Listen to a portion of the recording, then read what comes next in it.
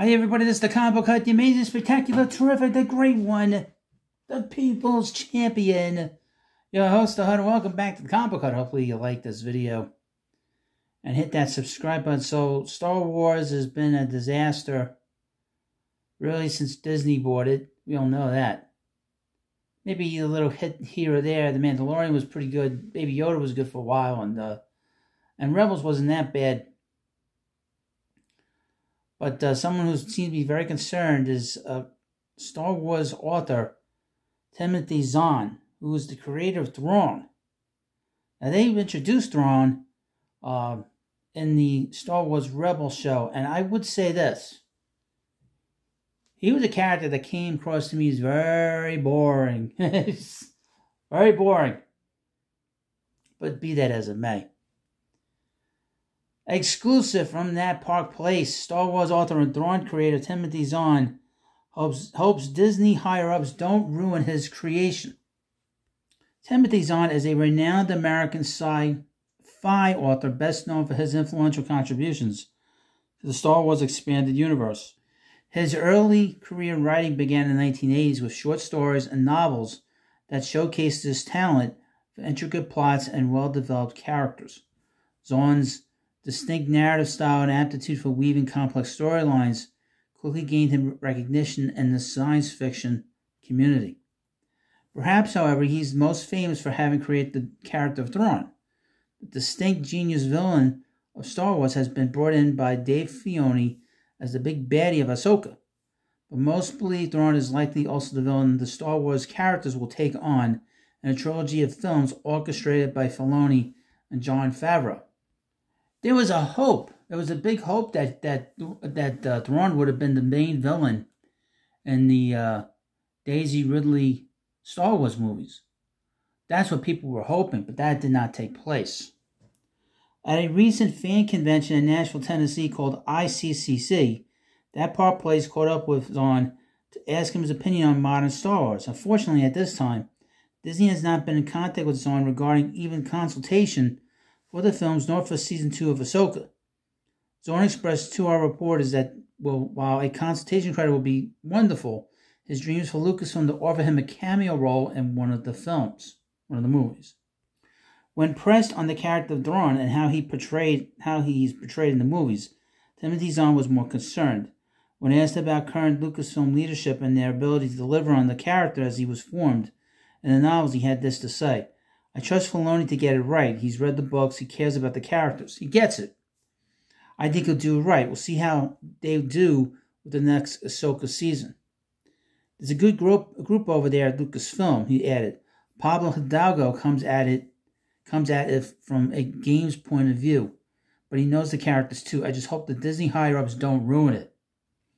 Uh, when we reminded Mr. Zahn that there aren't many people above Dave Filoni anymore at Lucasfilm and Disney, he smiled and replied, and that's a good thing, he said. It's surprised to us that Disney has not more forthrightly reached out to Zahn for consultation on the character.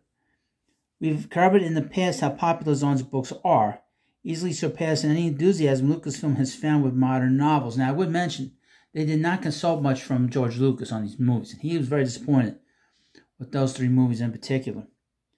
Take, for example, this information we received back in 2022.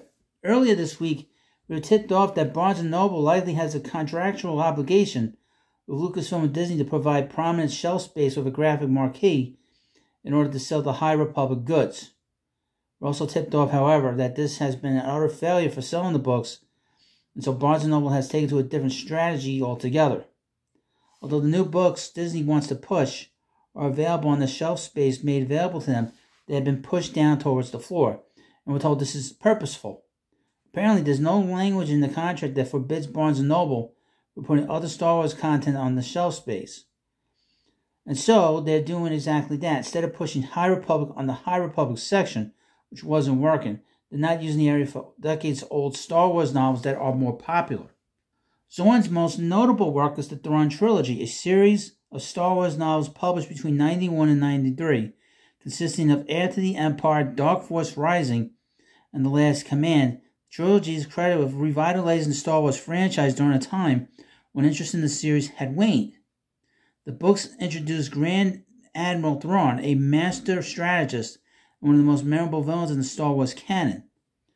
Thrawn's calculating intellect and military prowess, combined with Zahn's knack for blending space opera with political intrigue, made the trilogy an instant success, propelling Zahn to the forefront of the Star Wars literary world.